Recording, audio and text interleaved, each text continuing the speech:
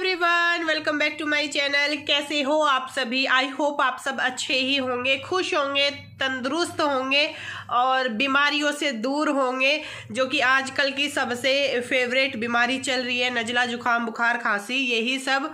और दिल्ली में प्रदूषण तो बहुत ज़्यादा हो रखा है, बच्चों की छुट्टियाँ भी चल रही हैं, इसी वजह से। तो मैंने सोचा चलिए वीडियो स्टार्ट कर लेते हैं, थोड़ा सा रेडी भी हुई हूँ और रेड इसलिए हुई हूँ क्योंकि सुबह से ना मतलब ऐसे ही मैं हो रखा था वीडियो भी मैंने शुरू नहीं किया था।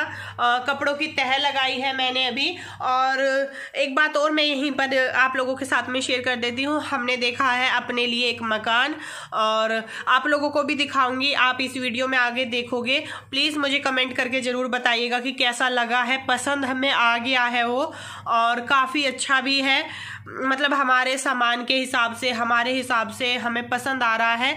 अभी मैं आप लोगों को भी दिखाऊँगी आगे वीडियो में। आप लोग प्लीज़ मुझे कमेंट करके ज़रूर बताइएगा कि आपको कैसा लगा है और कुछ कुछ वो फाइनल है, कुछ चीज़ें रह रही हैं, बस उसके बारे में वो सब चीज़ें फाइनल होना बाकी है। अगर वो पूरी तरीके से फाइनल हो जाता है तो फिर हम वहीं पर देखते हैं। मतलब वो ये ना मकान लेने से पहले हज़ार चीज़ें सोचनी होती हैं, सब चीज़ों को ध्यान में रख कर के ही शिफ्ट करेंगे, सारी चीज़ें देखेंगे। और फिर मैंने सोचा, मैंने वहाँ की वीडियो बनाई। मुझे मतलब जो मकान है ना, वो लुक वाइज और जिस तरीके से वो बना है स्पेस के हिसाब से मुझे पसंद आ रहा है। और आप लोग देखना और बताना फिर कि कैसा है। अभी मैंने कपड़ों की तह लगाई है। सारे कपड़े जो थे तह लगाए हैं। अभी इनको मैं अलमारी में लगा दूँगी। मशीन लगा रखी है कपड़े धुलने के लिए। लाइट भी लाइट ऑफ़ थी। मशीन लगाई हुई है, क्योंकि आज मुझे इस टाइम पर कुछ काम नहीं मिल रहा था। मैं थोड़ा सा फ्री भी थी तो मैंने सोचा चलो मशीन लगा लेती हूँ। और आज मैं खाने में बनाऊँगी पालक पनीर। तो आज मेरा मन है पालक पनीर बनाने का। दूध गर्म करके रखा है, फ्रिज में रखना है, ठंडा हो गया है। और ये बादाम का पैकेट भी खोला था बट डब्बे में नहीं डाला है अभी तक भी। इसको मैं डब्बे में डाल देती हूँ। कपड़े कुछ धुल गए हैं। बहुत सारे कपड़े धुल के ये रखे हुए हैं बेड पर। इनको मैं स्टैंड पर डालूँगी। वीडियो स्टार्ट कर लेते हैं। आई होप आप लोगों को पसंद आएगा। वीडियो अच्छा लगेगा तो लाइक ज़रूर कर दीजिएगा। चलिए फिर आज का व्लॉग स्टार्ट करते हैं।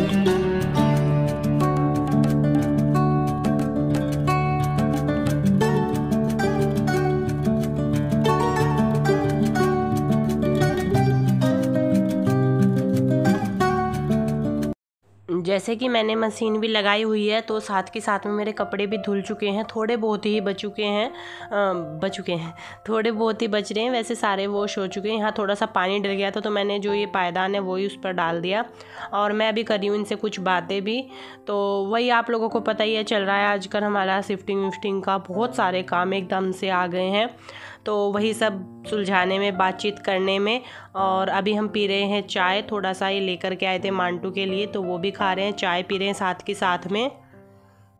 सो so गाइज़ मैं यहाँ पर आप लोगों के साथ में जो वाव का कैस्टर ऑयल है, उसका रिव्यू शेयर करने जा रही हूँ। तो मतलब कैस्टर ऑयल जो होता है वो आप अपने बालों के लिए स्किन के लिए लिप्स के लिए और नेल्स के लिए यूज़ कर सकते हो। और अगर मैं बात करूँ इसकी पैकेजिंग की तो ये ना मतलब पहले एक डब्बे में था, डब्बे में से जब मैंने निकाला तो ये ऊपर से भी इसको अच्छी तरीके से रैप किया हुआ है। मतलब बहुत अच्छे से इसको पैक किया हुआ है, ये पन्नी हटानी पड़ेगी इसकी ऊपर से। और तब इसके अंदर से जो है, वो कैस्टर ऑयल की जो बोतल है, वो निकलेगी। तो मैंने जो इसकी पन्नी थी, वो हटा दी है। और ये है इसकी बोतल। तो वाव के जितने भी प्रोडक्ट होते हैं, वो डर्माटोलॉजिकली टेस्टेड है, नेचुरल है और इनमें कोई भी मिलावट नहीं होती है। जैसे कि मैं आप लोगों के साथ में वाव के एक दो तीन प्रोडक्ट और शेयर कर चुकी हूँ। तो लोग मुझे ये भी बोलते हैं कि क्या आप यूज़ करते हो? तो आप इनका रिव्यू शेयर करते हो? तो जी हाँ मैं इनको यूज़ करती हूँ, क्योंकि वाव के सभी प्रोडक्ट मुझे पर्सनली बहुत ज़्यादा पसंद है और मुझे सूट भी कर रहे हैं। आप लोगों को पता ही है, मेरी स्किन जो है वो बहुत ज़्यादा सेंसिटिव है और इस मेरी स्किन पर कोई मतलब वैसी कैसी चीज़ मैं यूज़ नहीं कर सकती हूँ बट वाओ के मैं सारे प्रोडक्ट यूज़ कर सकती हूँ, क्योंकि मुझे इन पर ट्रस्ट है, इसीलिए और इन, इसकी जो भी डिटेल है, वो मैं अभी आप लोगों को बता देती हूँ। अगर आपको इसको परचेज करना है तो इसका लिंक मैं आपको डिस्क्रिप्शन बॉक्स में दे दूँगी। आप वहाँ से जाकर के चेकआउट ज़रूर कीजिएगा। और इसके बारे में मैं सिर्फ़ एक ही बात बोलना चाहूँगी। वाओ के जितने भी प्रोडक्ट होते हैं, वो सब नेचुरल होते हैं और हंड्रेड परसेंट नेचुरल होते हैं। तो गाइज़ ये है वाव का स्किन साइंस कैस्टर ऑयल और इसको अरंडी का तेल, भी हिंदी में इसको अरंडी का तेल बोलते हैं। और ये hundred percent pure and cold pressed है कंटेन्स नो एडिटिवीज और ये हेल्थी हेयर के लिए स्किन के लिए और आई लेसिस के लिए आईब्रोज के लिए लिप्स के लिए नेल्स के लिए आप इसको यूज़ कर सकते हो। और ये नो मिनरल ऑयल सिलिकॉन्स इसमें कोई भी मिनरल ऑयल ऐड नहीं है, ना ही कोई सिलिकॉन्स है। इसकी जितनी भी इस क्वालिटीज़ है, इसको कैसे कैसे यूज़ करना है, किन किन चीज़ों से मिलकर के ये बना हुआ है, उसका सब कुछ इसके पीछे दिया हुआ है। तो आप इसको यूज़ कर सकते हो, मंगा सकते हो अगर आपको इसको ज़रूरत है। तो इसको आप अगर आप अपने लिप्स पर यूज़ करना चाहते हो तो इसको रात को अपने होठों पर दो बूंद लीजिए। ये के ऊपर एक पंप दिया हुआ है। तो जैसे ही आप इसको प्रेस करोगे तो इसमें से जो है वो कैस्टर ऑयल आएगा। और अगर आप अपने नेल्स के लिए यूज़ करना चाहते तो आप इसको अपने नेल्स पर रात को लगा करके लेट जाइए और सुबह तक के लिए छोड़ दीजिए। ऐसे ही आपको ये अपने लिप्स पर भी यूज़ करना है। बालों पर अगर आपको कोई बालों की प्रॉब्लम है तो आप बालों पर भी इसको यूज़ कर सकते हैं। स्किन के लिए यूज़ करना है तो अपने अपने फेस पर इसको लगा करके अच्छे से मसाज कीजिए। अगर आप इसको खरीदना चाहते हो तो इसका जो लिंक है वो मैंने डिस्क्रिप्शन डिस्क्रिप्शन बॉक्स में दे दिया है। आप वहाँ से जा करके इसको चेकआउट कर सकते हैं। सो so गाइज़ मैं अभी इसको अप्लाई कर रही हूँ अपने फेस पर। तो थोड़ा सा मैंने अपने हाथों पे ले लिया है। अच्छे से चेहरे पर इसकी मसाज कर लूँगी। आप अपने इसको लिप्स पर भी अप्लाई कर सकते हैं। रात को लगाइए, सुबह को वॉश कर लीजिए। इससे आपके जो होठ हैं, वो बहुत ज़्यादा सॉफ्ट हो जाते हैं। और नेल्स को भी इस पर मैंने मसाज कर लिया है। बालों पर अप्लाई कर सकते हैं आप, अगर आपके बालों में डेंड्रफ है और बहुत सारी परेशानियाँ होती हैं बालों से जुड़ी हुई भी। इसका लिंक आपको डिस्क्रिप्शन बॉक्स में मिल जाएगा। तो गाइज़ मुझे आज मलाई भी करनी है क्योंकि बहुत सारी हो रखी थी। मैंने सोचा, चलो मलाई भी कर लेती हूँ साथ के साथ में। तो मैंने यहाँ पर पानी रख दिया है गर्म होने के लिए क्योंकि सर्दी आ गई है। तो सर्दियों में गुनगुना पानी ही डालना चाहिए। उसी से मक्खन जो है, वो ज़्यादा जल्दी से आ पाता है। और मैंने एक भिगोने में कर ली है मलाई। और इसको मैंने एक घंटा पहले ही फ्रिज से निकाल करके रख दिया था। एक घंटा हो चुका है इसको निकाले हुए। थोड़ा सा नॉर्मल टेम्परेचर में आ गई है क्योंकि फ्रिज में जो है, वो ज़्यादा ठंडी रहती है। तो ये नॉर्मल उसमें आ गई है अभी।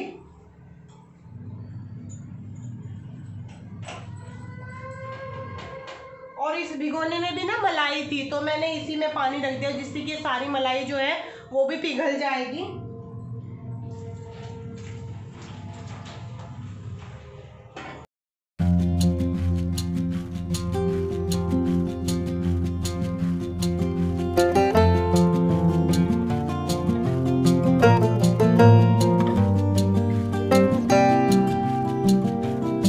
तो मैंने इसमें गर्म पानी डाल दिया। गर्म ज़्यादा तेज़ पानी नहीं डाला है क्योंकि सर्दी के हिसाब से ही पानी इसमें मैंने ऐड किया है।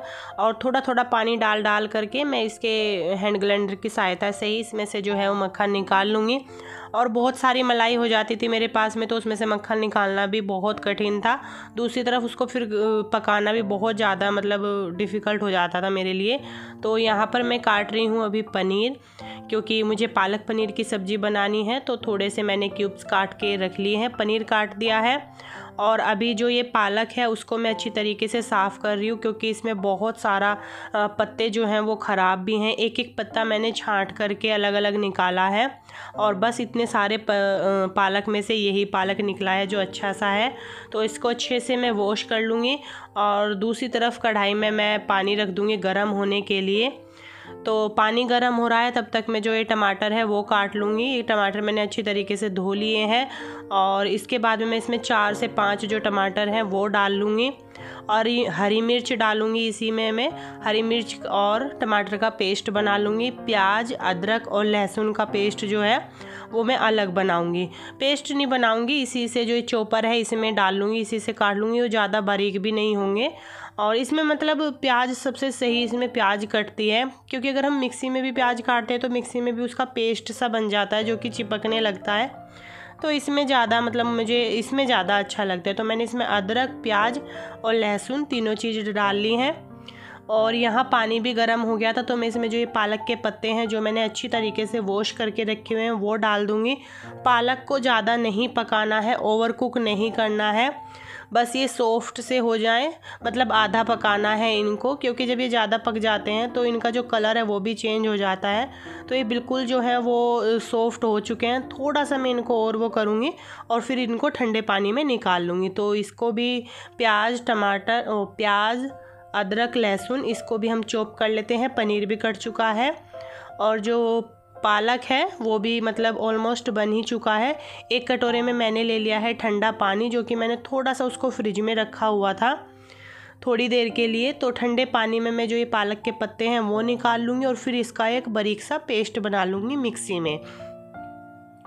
तो अभी मैं इसको मिक्सी के जार में ही निकाल रही हूँ। दूसरी तरफ़ ये बना रहे हैं चाय, क्योंकि जब से मेरा गला ख़राब हुआ है ना तो अगर मैं चाय पी लेती हूँ अदरक डाल करके तो थोड़ा सा गला खुल जाता है, बातचीत करने लायक हो जाती हूँ मैं। तो इस टोकरी में जो ये मैं मंगल बाज़ार से टोकरी लेकर के आई थी छोटे वाली, इसमें मैं सारा अदरक जो है वो करके फ्रिज में रख देती हूँ।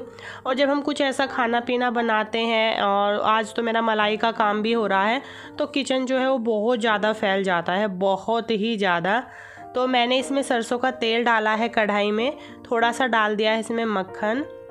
तो मक्खन को अच्छे से और तेल को अच्छे से गर्म करने के बाद मैं इसमें डाल दूँगी जीरा। जीरा डालने के बाद में इसमें थोड़ा सा हींग भी ऐड करूँगी। इनको अच्छे से चटक, चटका लूँगी। कुछ कुछ वर्ड मिस्टेक हो जाते हैं, आप माइंड मत कीजिएगा। तो अभी इसमें मैंने प्याज, अदरक, लहसुन जो मैंने चॉप करके रखा हुआ था, वो भी डाल दिया है। इसको अच्छे से मैं भून लूँगी और इसको अच्छे से भूनने के बाद में मैं इसमें डालूँगी बेसन। मैंने इसमें डेढ़ चम्मच बेसन डाला है। बेसन को भी अच्छी तरीके से इसमें मिला के पका लूँगी और फिर मैं डालूँगी इसमें सारे सूखे मसाले।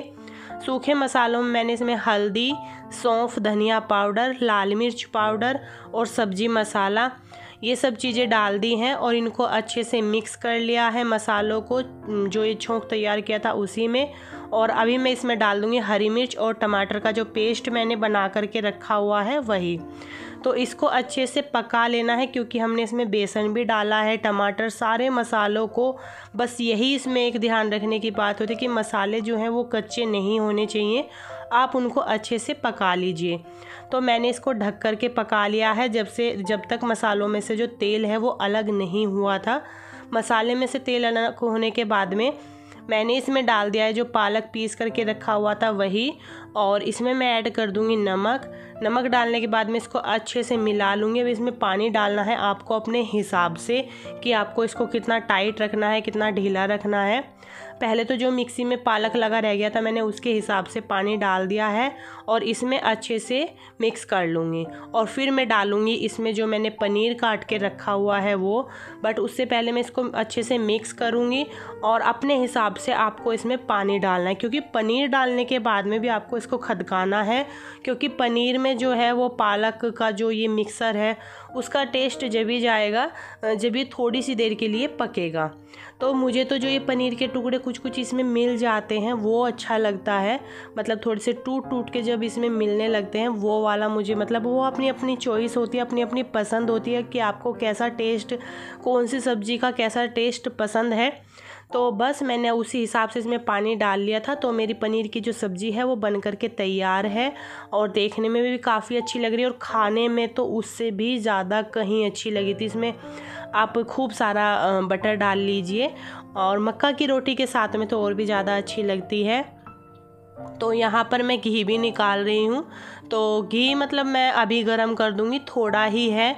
तो थोड़ा है तो जल्दी से निकल भी आया और जल्दी से गर्म भी हो जाएगा। आपने देखा होगा, मैं मतलब काफ़ी घी, मक्खन इकट्ठा हो जाता है, तब उसको गर्म करती हूँ, पर मैं अब ऐसा नहीं करूँगी। उसको गर्म करने में बड़ी मेहनत लगती है।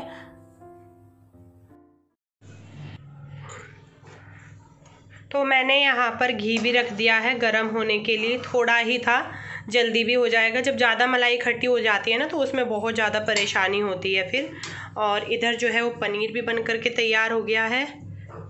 अच्छा सा टेस्टी सा पनीर। मक्का की रोटी मुझसे नहीं बनती है, वरना मैं वो भी बनाती। और इधर रखी है चाय। देखती हूँ, इसको छोंक लगा लूँगी। किचन पूरी मैंने थोड़ी बहुत संगवा दी है। और अभी इसमें मुझे टमाटर भी करने हैं, उनको वॉश करके रख दूँगी। इसमें टमाटर और प्याज, हरा धनिया सब कुछ है। तो मैं इनको टमाटर को टोकरी में रख के और इनको धुल के फिर फ्रिज में रखूँगी। कपड़े धुल गए हैं। वो भी मुझे स्टैंड पर डालूँगी, पर मैं सोची हूँ कि सबसे लास्ट में ही जो ये कपड़े हैं वो स्टैंड पर डालूँ, क्योंकि यहाँ जब स्टैंड खड़ा हो जाता है तो फिर यहाँ पर बहुत ज़्यादा भीड़ भड़ाका सी हो जाती है। तो सबसे लास्ट में जो कपड़े हैं वो स्टैंड पर डाल दूँगी। और बस, अब रोटी रोटी बनानी रह गई है, खाने का टाइम हो रहा है और जो बर्तन हुए हैं, उनको भी साफ़ कर लेती हूँ मैं। अभी चलिए फिर जल्दी जल्दी से काम कर लेते हैं और फिर आप लोगों से बातें करते हैं।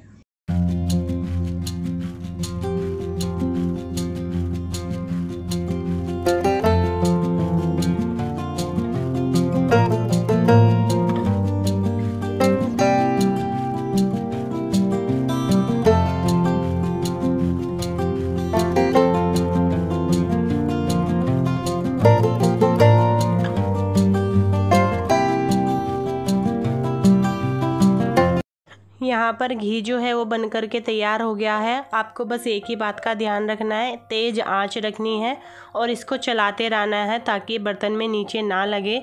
तो बहुत जल्दी से आज बन गया क्योंकि थोड़ा था जैसे कि मैंने आप लोगों को बताया था।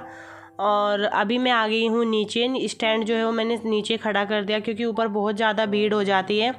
तो मैंने यहाँ नीचे कर दिया क्योंकि भैया जो हैं वो अंदर लेटते हैं तो बाहर जगह थी। मैंने सोचा चलो स्टैंड को यहीं पर खड़ा कर देती हूँ। सारे कपड़े यहीं डाल दूँगी, सूख भी जाएँगे। आप देख ही सकते हैं ऊपर बहुत ज़्यादा मतलब भीड़ भड़ाका हो जाता है। अगर मैं स्टैंड वहीं खड़ा कर देती हूँ, करना पड़ता है, मजबूरी है, क्या कर सकते हैं? तो घी जो है वो मैंने डब्बे में डाल दिया है। और बहुत डर लगा था। मैंने कहा इनको कि चलो ये डब्बा रख देना। पीछे कह रहे नहीं, हाथ भी नहीं लगाऊँगा, अपने आप खिसका लो। तो इन्होंने रखा भी नहीं और मेरा डब्बा फिर से फुल हो गया है घी का भर के। पीला पीला ये इसीलिए क्योंकि पैकेट का दूध आता है। और अभी मैं लगा रही हूँ आटा। तो आटा लगाने के बाद क्योंकि इसको रखना है थोड़ी सी देर के लिए। मैं सोच रही थी इसमें ना थोड़ा सा चावल का आटा मिला लेती हूँ, पर चावल का आटा नहीं था और ये ना क्लिप आगे पीछे हो गई थोड़ा सा। आटा बनाने की पहले थी और घी डालने के बाद में थी, बट मैंने फिर नहीं किया कि नहीं, कोई बात नहीं, जो गलती हो गई उसको दिखाने में क्या जाता है। तो ये मुझसे मिस्टेक हो गई थी इनको क्लिप को आगे पीछे करने में। बट कोई बात नहीं, आप लोग समझ सकते हो। तो अभी मैं बना रही हूँ रोटी। और जैसे ही मैं रोटी बनाती हूँ तो साथ के साथ में डालना शुरू कर देते हैं, क्योंकि गरम गरम रोटी खा लेते हैं। ये इनको तो गरम ही पसंद है। और बस भैया को भी और मांटू को भी घाल के दे देंगे, डाल के दे देंगे खाना।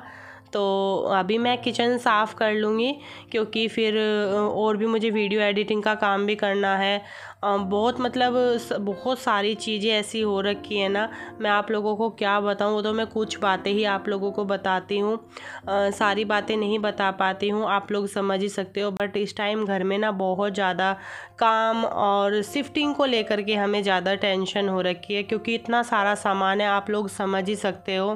तो उस चीज़ की सबसे ज़्यादा टेंशन है, मकान ढूँढने की टेंशन है तो वही सब चीज़ें चल रही हैं। और यहाँ मैंने इस पेटी में ना अपना सारा जो मंथली राशन है, जो बच जाता है, वो रख दिया क्योंकि स्टोर रूम टाइप कुछ है नहीं तो जगह नहीं मिलती सामान को रखने की तो इसी अटैची में मैंने सारा सामान जो है वो रख दिया है। सो so फाइनली ये है वो मकान जो कि हमने देखा है। मैं एक दिन पहले ही इसको देखने गई थी। सोचा आप लोगों को भी दिखा देती हूँ। टू रूम सेट है ये। दो कमरे हैं। अभी बना है। काम रह रहा है अभी इस मकान में। पूरा काम भी नहीं हो पाया। पर मुझे जो है ये घर बहुत ज़्यादा पसंद आया है। आप लोग प्लीज़ बताइएगा। ज़रूर दो फ्लोर हैं इसके। एक ये नीचे वाला फ्लोर है। आ, मतलब दोनों फ्लोर सेम ही बने हैं बस थोड़ा सा ही चेंज है और ये थोड़ा सा इसमें यहाँ खुला भी है। मतलब मुझे ऑलमोस्ट जो मैं अगर बताऊँ तो मुझे काफ़ी पसंद आया सेपरेट है और जहाँ हम रहते हैं मतलब जो सी कॉलोनी में हम रहते हैं उसी कॉलोनी में हमें ये मिल भी गया और एक फ्लोर है ये उसके ऊपर वाला इसका किचन थोड़ा बड़ा है। अभी किचन का भी काम रह रहा है मकान में भी काम रह रहा है तो मतलब आप लोगों को कैसा लगा? प्लीज़ मुझे कमेंट करके ज़रूर बताइएगा। दो रूम है, एक ये है, एक ये है, लेटरिन, बाथरूम और यहाँ पर मुझे ये जो ये वॉश वेशिंग का एरिया था, वो मुझे काफ़ी पसंद आया। इन्होंने बहुत अच्छे तरीके से इसको बनवाया है। और ये जो मकान है, जिसका हमने देखा है, ये इनके दोस्त ही हैं, उन्हीं का मकान है। तो देखते हैं, जैसे भी फ़ाइनल होता है, अगर ये फ़ाइनल हो जाता है या कोई और फ़ाइनल होता है, पर मुझे मतलब काफ़ी अच्छा लगा। और गली बंद गली है, ये सेफ़ गली है, बिल्कुल। ऐसा नहीं है कि मतलब गली वो है, बंद गली है, बिल्कुल। लास्ट वाला मकान है गली में भी। तो मतलब अगर हम सेफ़्टी की बात करें तो काफ़ी अच्छी सेफ़्टी है और गली भी काफ़ी अच्छी थी। मतलब सारा टोटल मिला कर के देखे गली काफ़ी अच्छी थी, काफ़ी अच्छे लोग थे गली में भी। और सारी बात तो ये थी कि घर अच्छा था। मतलब देखते हैं, अब अगर फ़ाइनल हो जाता है तो हम इसी को फ़ाइनल करेंगे।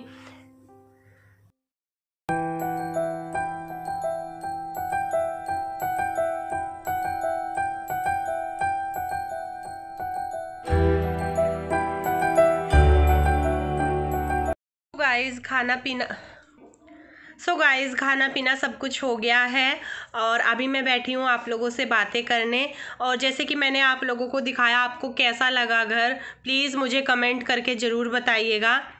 और एक दो दिन से मैं नहीं, किसी का नाम नहीं लेना चाहूँगी, ना ही मैं कुछ बोलना चाहूँगी। और मैंने बहुत सोचा इस बारे में कि मैं इस बारे में कोई बात नहीं करूँगी, कुछ भी नहीं बोलूँगी। बस एक बात बोलना चाहूँगी कि बस थोड़ा सा सोच समझ कर थोड़ा सा ज़ुबान पर कंट्रोल करके अगर आप कुछ बोलोगे तो मे भी मतलब मैं थोड़ा सा देखिए अच्छा तो फील नहीं होगा क्योंकि अगर कोई किसी को गाली देगा, कुछ गलत सलत बोलेगा अच्छा फील तो नहीं होता है। पर यह है कि अगर हो सकता है तो प्लीज़ आप लोग अपना थोड़ा सा ना ज़ुबान पर कंट्रोल करके बोल लिया करें। बुरा लगता है यार, जो मतलब बोल जाते हो, क्या क्या लिख जाते हो, कोई आइडिया नहीं होता आप लोगों को। बट देखिए, मैं यहाँ पर एक बात बहुत अच्छे से समझ चुकी हूँ कि हर बात को क्लियर करना, हर बात के बारे में क्लैरिफिकेशन देना, हर बात के का मतलब उसको झाड़ पूछ के साफ़ करना बात को मतलब नहीं कर सकते हम, है ना? हर रोज़ मैं एक ही टॉपिक पर, हर रोज़ मैं वही सब बातें लेकर के बैठूँ, ये बोल रहे हो मुझे, आप ये बोल रहे हो, ये क्यों बोला, ये क्यों बोला, मैं नहीं कर सकती हूँ। देखिए, आप लोगों की मर्ज़ी है आपको जो बोलना है। देखिए, सोच के हिसाब से मैंने यहाँ पर बात ये बहुत अच्छे से समझ चुकी हूँ कि इंसान अपनी सोच के हिसाब से बोलता है। जो उसकी मैंटलिटी होता है, उसके हिसाब से बोलता है। देखिए, मेरी जो सोच है, मैं उस हिसाब से बात कर रही हूँ। मेरा जैसा मन है, मेरा, मैं उस हिसाब से बात कर रही हूँ। तो सभी के साथ में यही होता है, जिसकी जैसी सोच होती है, जिसका जैसा मन होता है, जिसका जैसा स्वभाव होता है, वो वैसी ही बातें करता है। ठीक है? गाली दे लीजिए, झूठी बोल लीजिए मतलब कुछ भी बोल लीजिए, वो आप लोगों पर ही निर्भर करता है। देखिए, मेरा वो नहीं बता रहे हो आप यहाँ पर। मुझे गाली दे करके मुझे गलत नहीं साबित कर रहे हो। आप अपने बारे में बता करके जा रहे हो यहाँ पर कि हम क्या हैं। तो मुझे इस बात से कोई फ़र्क नहीं पड़ता। आप लोग गाली देते हो, झूठी बोलते हो मतलब बहुत हद तक जो मतलब जितनी भी सारी लिमिटी थी, वो सब कुछ पार हो गई। बट मैं नहीं बोलना चाह रही हूँ इस बारे में। हंस के इसीलिए बात कर रही हूँ, क्योंकि लिखोगे आप, जो भी है ना, वो वो लिखेंगे, वो अपना परिचय यहाँ पर दे करके जाएँगे तो आपका मोस्ट वेलकम है। आइए, देखिए, गाली दीजिए, जो आपकी मर्ज़ी है, आप कर सकते हो। पूरी तरीके से आपकी इच्छा पर निर्भर करता है। बट मैं इस टाइम पर बहुत ज़्यादा बिज़ी हूँ। मेरे साथ बहुत सारे काम हैं अभी, फ़िलहाल जो मुझे करने हैं। और यूट्यूब भी मेरा काम ही है जिसको मैं बहुत लगन से बहुत ईमानदारी से कर रही हूँ। और दूसरी चीज़ ये मुझे मकान शिफ्ट करना है उसको लेकर के मेरा बहुत सारा काम है। मकान ढूंढना सुबह में निकल जाते हैं ढूंढते हैं नहीं मिलता है इधर उधर धक्के खाने पड़ते हैं। तो जो फ़ाइनल हुआ है आ, मतलब जो अभी तक का फ़ाइनल हुआ है वो मैंने आप लोगों को दिखाया है। आ, तो आप प्लीज़ मुझे कमेंट करके ज़रूर बताइएगा कि आपको कैसा लगा। और गाइज़ मैं यहाँ पर किसी को गलत साबित करने की कोशिश नहीं कर रही हूँ, बस थोड़ा सा ये बोलने की कोशिश कर रही थी कि हो सके, अगर हो सके तो थोड़ा सा कंट्रोल कर लिया करो। अदरवाइज़ आप लोगों की इच्छा है, जो आपको बोलना है, आप बोल सकते हो। कमेंट में सारे पढ़ती हूँ, एक एक कमेंट रीड करती हूँ। कोई कमेंट ऐसा नहीं जाता है, चाहे वो चार सौ आ जाए, चाहे वो हज़ार आ जाए, एक एक कमेंट मैं पढ़ती हूँ। इसीलिए आपको बोलती हूँ कि आप लोग मुझे कमेंट किया करें। रिप्लाई नहीं कर पाती हूँ, वो अलग बात है, बट मैं रीड एक एक कमेंट करती हूँ। बहुत से ऐसे लोग हैं जिसके मुझे नाम तलक याद हैं, जो मुझे बहुत अच्छे अच्छे कमेंट करते हैं। ठीक है, एक दिव्या चौधरी जी हैं, वो मुझे बहुत दिनों से फॉलो कर रही हैं और एक सुबह सुबह में आता है गायत्री का वो मुझे मतलब डेली सबसे पहले उनका कमेंट हो तो बहुत सारे लोग हैं, बहुत सारे जिनके मुझे नाम याद हो चुके हैं। सो गाइज़ देखिए, अच्छाई में भी मैं याद रखती हूँ और बुराई में भी मैं याद रखती हूँ। बट मैं यहाँ किसी की अच्छाई और बुराई नहीं बता रही हूँ। वो आप लोगों की इच्छा है, जैसा आपको करना है। पूरी तरीके से आप लोगों पर ही निर्भर है। बस मुझे ये बता दीजिएगा आपको कि मेरा ये घर कैसा लग रहा है। वैसे हम और भी ट्राई करेंगे, और भी देखेंगे। फाइनल क्या होता है, क्या नहीं होता है, वो सब कुछ आप लोगों के साथ में डिस्कस करूँगी। तो चलिए गाइज़ इस वीडियो को यहीं पर एंड करते हैं। आई होप आप लोगों को पसंद आया होगा। लाइक किए बगैर मत जाइएगा। प्लीज़ मैं रिक्वेस्ट करती हूँ आपसे लाइक कीजिएगा ज़रूर। मैं मिलती हूँ आपसे नेक्स्ट व्लॉग में। तब तक के लिए बाय अपना ख्याल रखिए, खुश रहिए। Take care